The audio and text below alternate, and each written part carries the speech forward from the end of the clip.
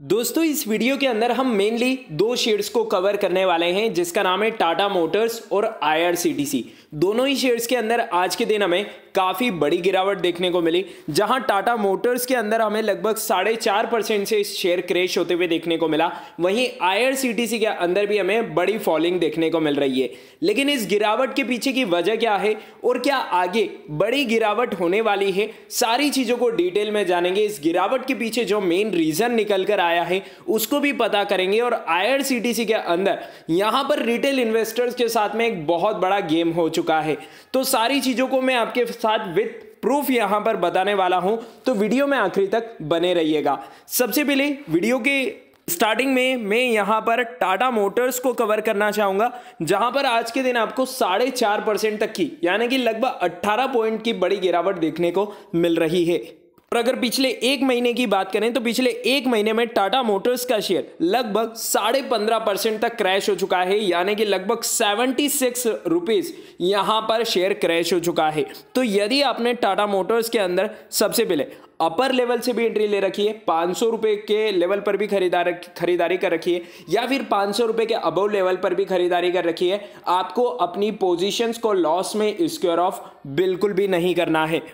बात कर ले सबसे पहले टाटा मोटर्स को लेकर क्या बड़ी अपडेट निकल कर आ रही है? तो आप देख सकते हैं, चार मार्च 2022 आज ही के दिन ये न्यूज़ निकल कर आई है, जिसमें टाटा मोटर्स की wholly owned subsidiary company Tata Motors finance arms to sell loan assets of rupees fourteen thousand five hundred crore तो यहाँ पर टाटा मोटर्स की जो सब्सिडरी कंपनी है, टाटा मोटर्स फाइनेंस वो अपनी लोन असेट्स को बेचने जा रही है और जिसकी वैल्यू लगभग चौदह हज़ार पाँच सौ करोड़ रुपए हमें देखने को मिलती है। अब बात करें कि टाटा मोटर्स इस वैल्यू का, इस चौदह हज़ार पाँच सौ करोड़ रुपए का यूटिलाइजेशन कहाँ पर करने वाली है?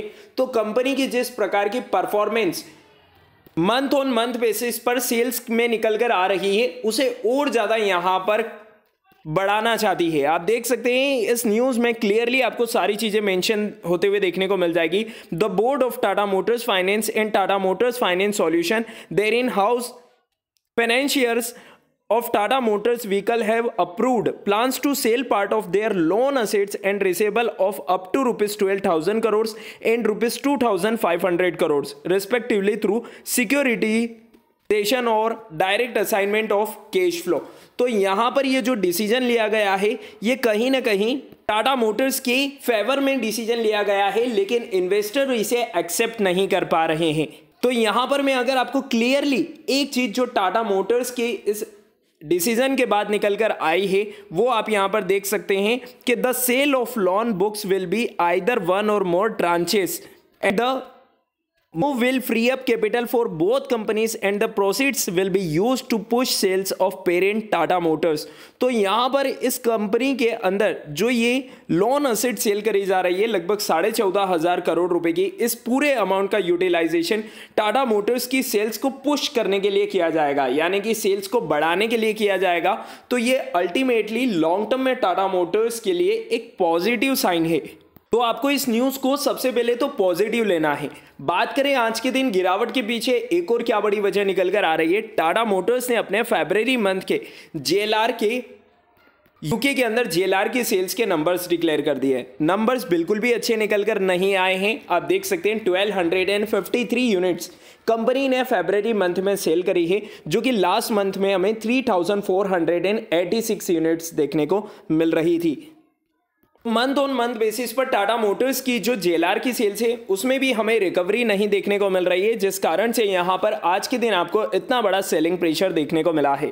लेकिन इन सब के बावजूद अगर आप वॉल्यूम बेस्ड काम की तरफ़ नज़र मारेंगे तो टाटा मोटर्स के अंदर जो वॉल्यूम बेस्ड काम है, वो बहुत ही शानदार देखने को मिल रहा है। आज के दिन भी इस शेयर के अंदर लगभग तीन करोड़ सत्यासी लाख क्वांटिटी ट्रेड हुई है, जिसके सामने लगभग एक करोड़ से ज़्यादा क्वांटिटी डिलीवरेबल बेस पर उठाई गई है। तो ओवरऑल यहाँ पर आप नेक्स्ट सपोर्ट जो टाटा मोटर्स के अंदर बन रहा है, वो four hundred and nine rupees का बन रहा है, उसे ध्यान में रखते हुए आप अपने रिस्क को मैनेज कर सकते हैं, और अगर ये शेयर्स और डिक्लाइन होता है तो यहाँ पर आप बायोन डिप की स्ट्रेटेजी लेकर चल सकते हैं। शेयर्स बुरा नहीं है, यहाँ पर लॉन्ग टर्म का नज़रिया रखिए, ये शेयर्स आपको डेफिनेटली अच्छे रिटर्न बनाकर देगा।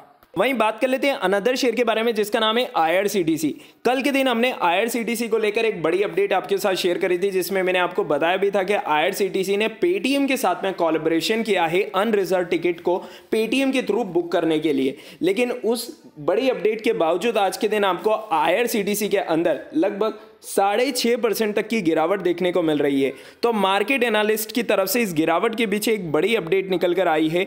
जो कि यहाँ पर हम कवर करने वाले हैं तो यहाँ पर मार्केट एक्सपर्ट्स ने कहा है इस गिरावट के पीछे जो सबसे बड़ा रीजन है, वो जो सेकंड सीटिंग को लेकर आईआरसीटीसी की तरफ़ से एक बड़ा क्लैरिफिकेशन आया है, उसको लेकर यहाँ पर देखा जा रहा है। आप देख सकते हैं the railway amid corona crisis has made compulsory to book ticket of general coach to and it was the converted into second city यानी कि जो कोरोना क्राइसिस हमें देखने को मिल रहे थे, उस टाइम पर जो सेकेंड सीटिंग थी, यानी कि जो चेयर कार थी, उनकी बुकिंग भी जनरल टिकट के थ्रू नहीं, बल्कि रिजर्वेशन के थ्रू हो रही थी।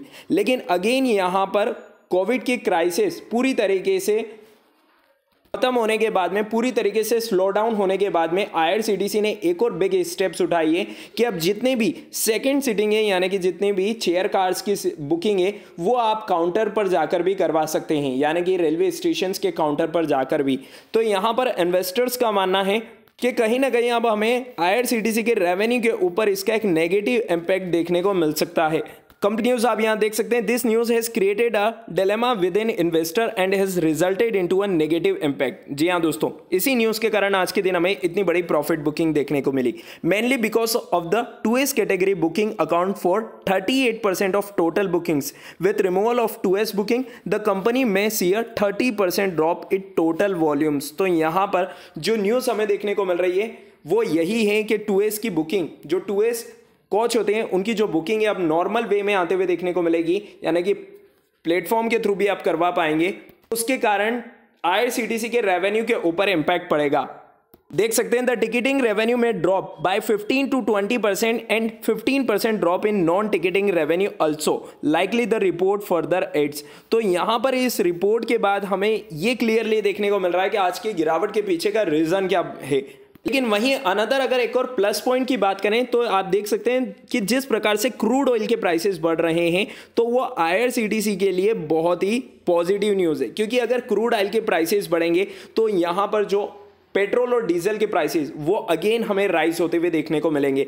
तो जिससे क्या है एयर ट्रेवल बहुत ज़्यादा कॉस्टली हो जाएगी, और जिस कारण से जितने भी ह्यूमन बींग्स वो पूरी तरीके से हमें इंडियन रेलवेज के ऊपर डिपेंडेंट होते हुए देखने को मिल जाएँगे। जैसा कि आपको पता है कि आईआरसीटीसी प्राइवेट ट्रेन भी चलाती है, तेजस एक्सप्रेस भी आपको देखने को मिलती है, जिसमें वो लग्जरी फैसिलिटी प्रोवाइड करती है। तो कहीं ना कहीं क्रूड ऑयल के प्राइसेस बढ़ना आईआरसीटीसी के लिए एक पॉजिटिव साइन यहाँ पर हो सकता है फॉर द लॉन्ग टर्म यदि आपने आईआरसीटीसी के अंदर इन्वेस्टमेंट कर रखा है तो यहाँ पर आपको पैनिक लेकर अपनी पोजीशंस को स्क्वेयर ऑफ़ बिल्कुल भी नहीं करना है। वहीं हम बात करें आईआरसीटीसी के वॉल्यूम बेस्ड काम के बारे में तो आज के दिन हमें इस शेयर के अंदर गिरावट के चलते हाईएस्ट वॉल्यूम बेस्ड काम देखने को मिला है। वो कैसे वो भी मैं आपको बताऊँगा। सबसे पहले आप देख सकते हैं, आज के दिन एनआईसी के अंदर आईआरसीटीसी की एक करोड़ तिरपन लाख क्वांटिटी ट्रेड हुई है, जो कि अगर मैं आपको कहूँ कि पिछले एक महीने में सबसे ज़्यादा है तो आप यकीन नहीं करेंगे।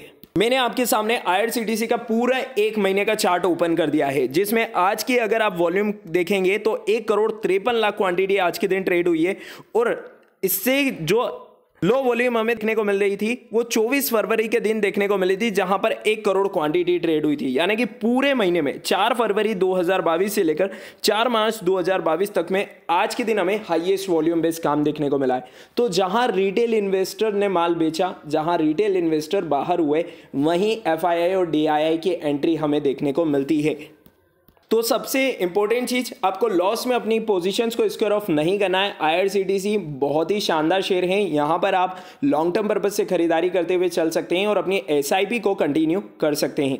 उम्मीद है आपको सारी अपडेट्स क्लियर हो गई होगी। उसके बावजूद अगर आपका कोई डाउट्स है तो आप नीचे कमेंट सेक्शन बॉक्स में लिखकर पूछ सकते हैं। और साथ ही साथ, अगर आपने अभी तक हमारे ऑफिशियल टेलीग्राम चैनल बाज़ार की खबर को ज्वाइन नहीं किया है तो लिंक आपको डिस्क्रिप्शन बॉक्स में मिल जाएगी, जहाँ से आपको मार्केट की रियल टाइम इंफॉर्मेशन प्रोवाइड करी जा रही है. Thank you for watching have a nice day